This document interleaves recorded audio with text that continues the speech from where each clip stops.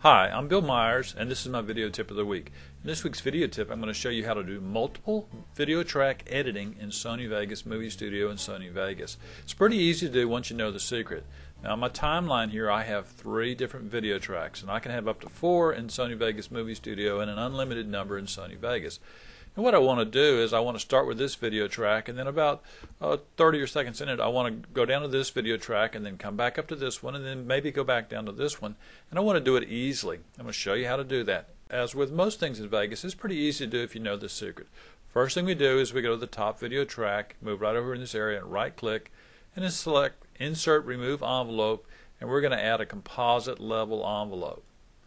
We're going to do that on the next track as well we're going to add that composite level envelope and we're going to do it on the other track.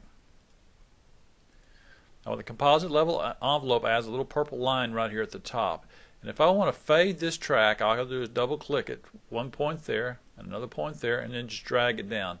And if you notice my window down here, when I play this, it's going to jump from this clip to that clip just because the composite level is dropped. You see it drop down?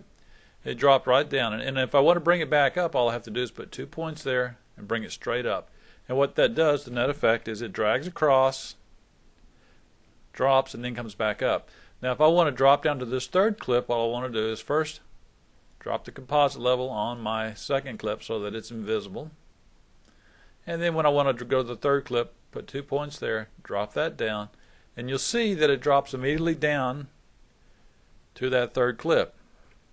So that's how easy it is. And you can use this composite level to adjust how fast it drops. So if you have a straight line, it's going to drop it's going to drop immediately. Watch this. Boom, it goes straight to it. But if you drag this line over, it actually does a fade rather than a, a drop.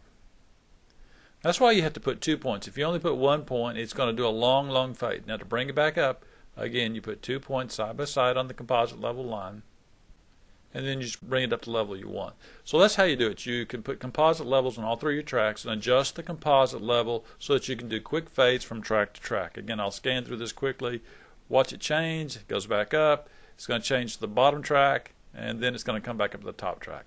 Easy to do. We did it all using composite levels on our video tracks. I'm Bill Myers. This has been another one of my video tips of the week. To find more like this, visit my website at www.bmyers or checking some of the DVDs that I have on the market. Again, thanks for watching.